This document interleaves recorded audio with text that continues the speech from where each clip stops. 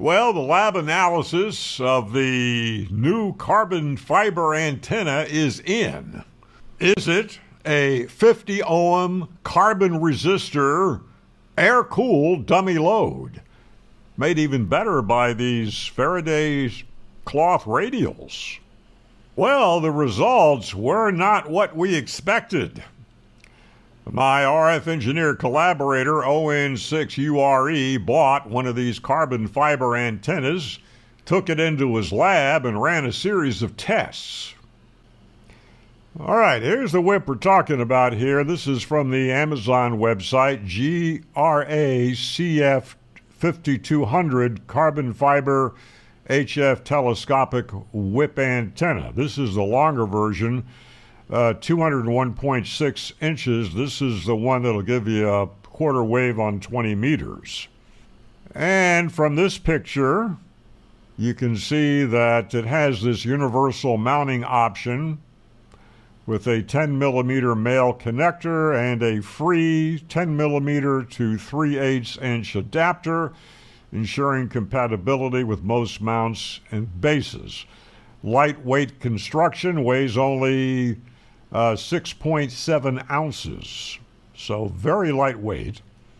And here we can see that it is telescopic in construction, but it is not like a stainless steel telescopic whip where you can adjust the length. Uh, this carbon fiber whip has to be fully extended.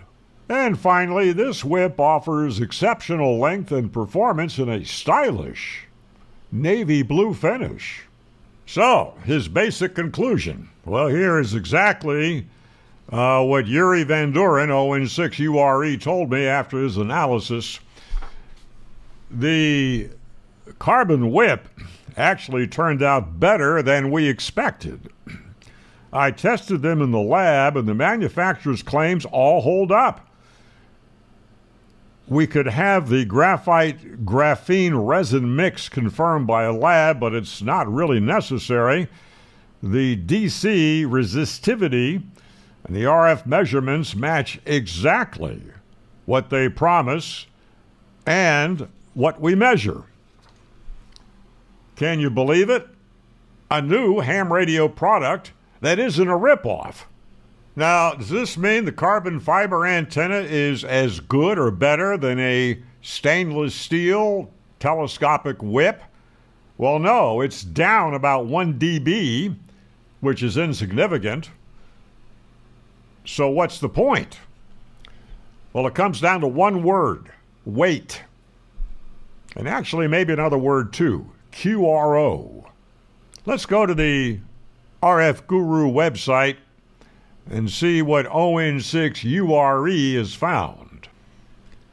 All right, here we are. Conclusion a balanced view of 20 meter carbon whips. Our measurements confirm what we have published before. Carbon whips are not miracle antennas, but neither are they the lossy dummy loads some believe.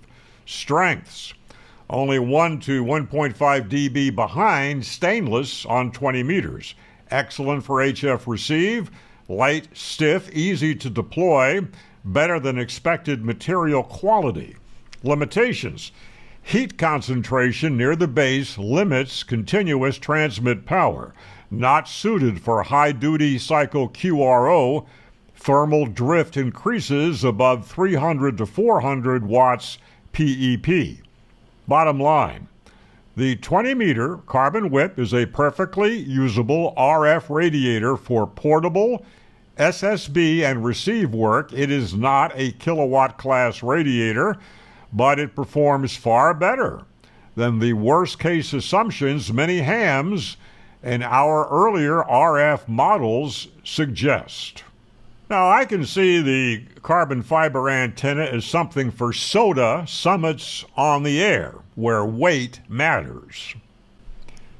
These are crazy hams who climb to the tops of mountains and set up a ham station and make contacts. Actually, wouldn't it be nice if more of us looked like him and not like this? Consider subscribing to this channel, ring the bell for updates, and 73.